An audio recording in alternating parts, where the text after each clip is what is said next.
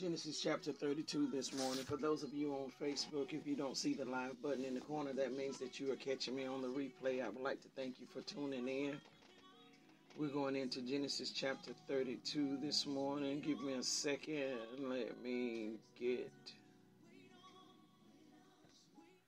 let me get myself set up here. Uh, let's see. Be this morning. I guess I got messages I didn't know I had. All right, Genesis chapter 32 this morning.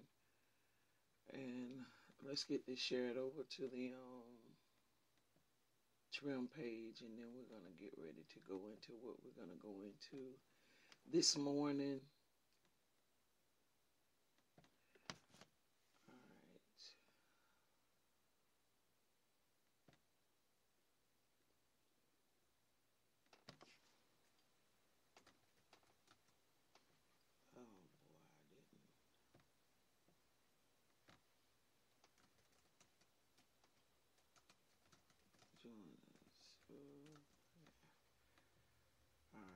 So I got that.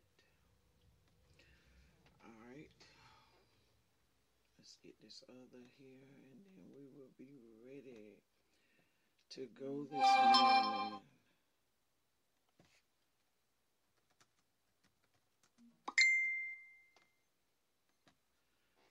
Genesis chapter 32 this morning.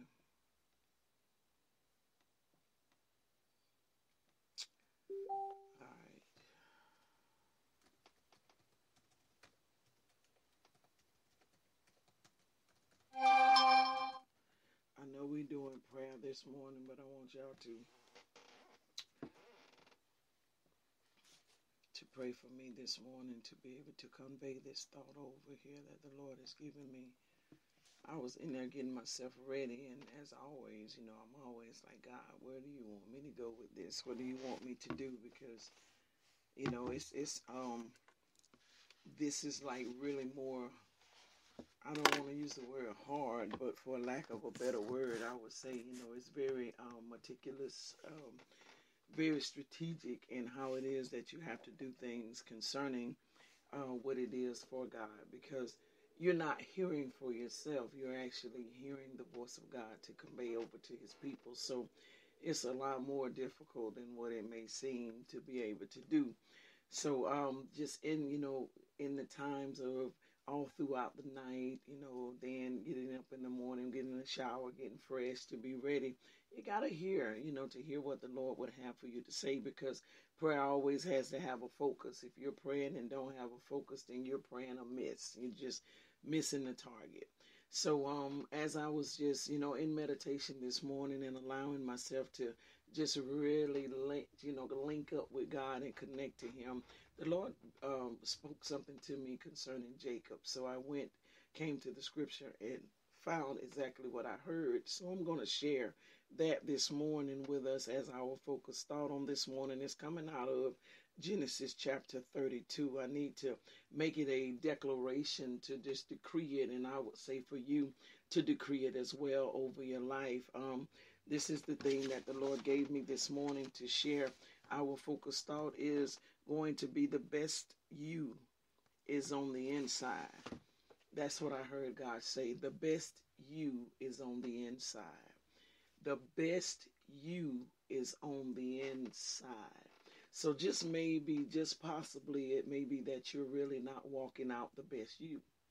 And you may not be walking out the best you because you're still living in the old you or you're living in the spoken you that that has been um, projected upon you or that that has been taught to you. You may you may be walking in that. So you're not walking in the best you. But the lord wanted me to let you know today that the best you is on the inside. The best you is on the inside. The best you the best version of you is on the inside. Now, I understand that that sounds very contradictory because in the context we always hear that people are just nasty on the inside. They're nasty. But the Lord has created us to be who He's purposed us to be, and it lives on the inside. It is that thing that the Bible says when it says every man is born with the measure of faith.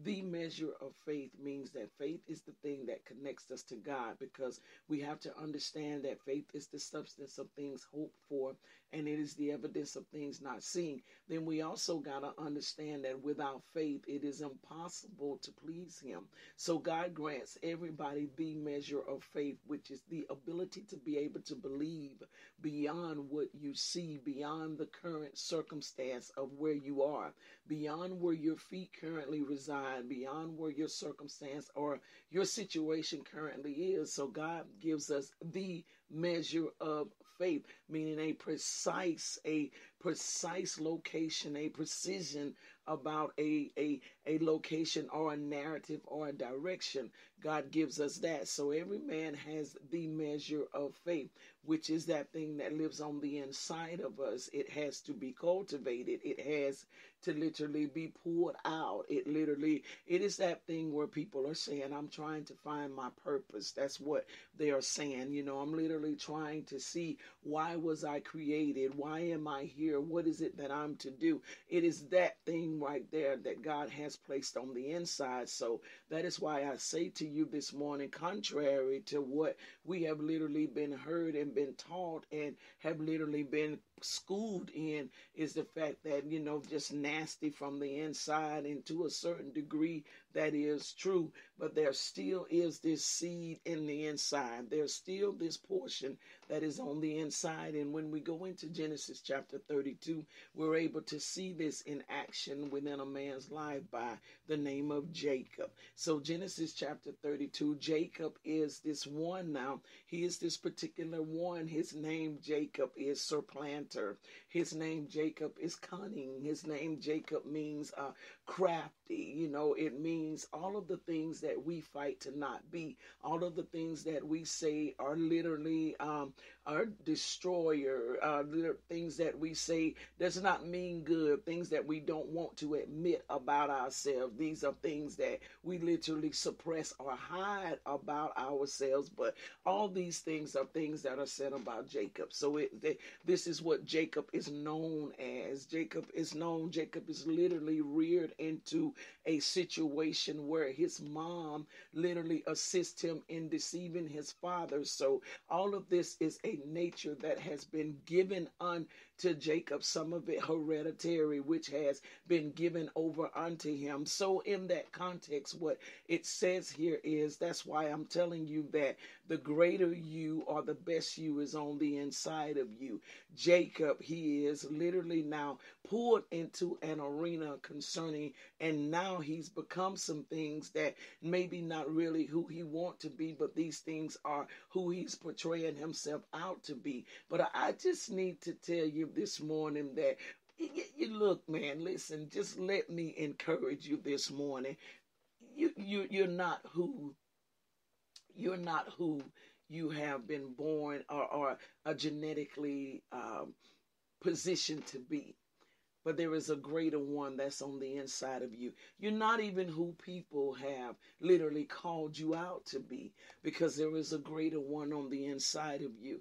If I was who people had called me out to be, I would first be a mother of a bunch of kids because when I was growing up, they said I was too grown and that I would literally have a whole bunch of kids. Well, I only naturally birthed two kids, but I got three kids. You know, I have three children. And so to me, that is a small number. That's not a bunch of kids, like they said. I'm thinking maybe seven, eight kids, or however that. I was so fast that that was what was going to happen. So I am not a product of words that was spoken, although there were words that was spoken um, concerning me that you know there there were all types of things that I would you know literally end up in places that I did not end up in thank God but there was also some genetic things that was going on in my life that I literally had to overcome and so I need to talk to you for a little bit this morning to talk to that best part of you. I need to talk to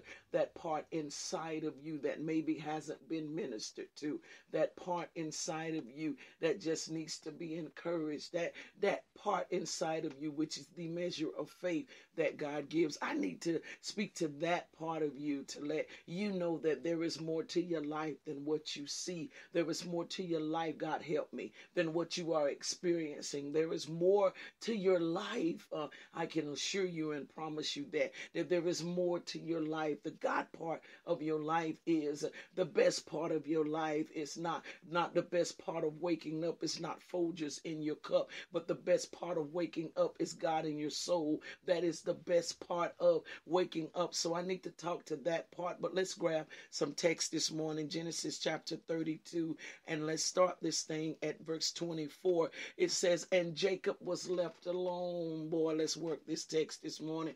And Jacob was left alone, and there wrestled a man with him until the breaking of the day. Now I need to give y'all the revelation of this scripture as the Lord would have me to give it to you. Now that is synonymous in saying that there was a separate entity that Jacob was fighting with. Well, I need you to understand and know that there is a separate entity that you are fighting with. There is the God you and there is the natural you that is having a battle. God help me. Anytime there is an assignment, we gonna do this this morning, God. Yeah, we finna do every bit of it early on a Tuesday morning, ain't we? Let's go. Okay, so listen, there is the part of you that God has called. That is the part of you that I like to use the word assignment. There is the part of you that God has assigned into the earth for, for a particular time. I feel the Holy Ghost, y'all. There is a part of you that has an assignment. It has a, a purpose. It carries the the intellect of God. It carries the uh, the fortitude of God. It it houses the presence of God. It is that part of you, and then there is the part of you that uh, shaped and molded by the genetic uh, background. It is that part of you as to where you got your mama's eyes, you got your daddy's hands, that that part of you, that genetic makeup. And so in the genetic makeup, what happens is is we are conditioned to be what the genetic would have for us to be. Some families have taken on the nature of being fighters. Uh, uh, they teach the kids to fight. Everybody in the family are just fighters. Some families are they are timid. You know, there is um they're very reserved people. Some some families you know pride themselves on on being uh, a strong people and pride themselves on being very hard workers. And so these are the genetic types of things. Some families pride themselves on we don't take no crap you know that all that type stuff. So these those are the genetic type things. But what about that part of you that god part that assignment part of you? What about that part of you that god called part of you, that chosen part of you, that part that you were placed into the earth for specific reasons. See, there is that's where the dilemma comes in because of the situation. If you don't watch, uh, that natural part will literally subdue that part on the inside, which is the measure of faith. It will literally subdue that part and it will take it over or dominate that part. And so when that part begins to dominate, uh, that natural natural part, that that that that flesh part begins to dominate, it will literally subdue or eradicate everything that the measure of faith is trying to birth. They are contrary one to another. They do not understand each other. They do not get along with each other. There is my spirit has literally told me to do things on I don't know how many occasions that my flesh said, Girl, you crazy. You better not do that. What? Go over there and do what? Get him what? You crazy. Uh-uh, you know, because it is so contradictory to each other. So we see a situation here where there is Jacob, which is cunning, which is supplanter, which is uh, uh he is a deceiver. He he's uh, literally a manipulator, and all Jacob is all of these things here. And it says in verse 24 in Genesis 32 and 24 that Jacob was left alone. There is nothing like a battle when you're by yourself yourself uh, and when you got to see yourself. Jacob was left alone and there wrestled a man. There was a fight going on on the inside of him until the breaking. Notice the word it uses. I love the text. It says, until the breaking, God help me. There has to be a breaking uh, that takes place, Lord Jesus Christ. Uh, somebody this morning just need to say, God, I give you permission to just break me. Just what I need you to do, just go on and break me. Uh, because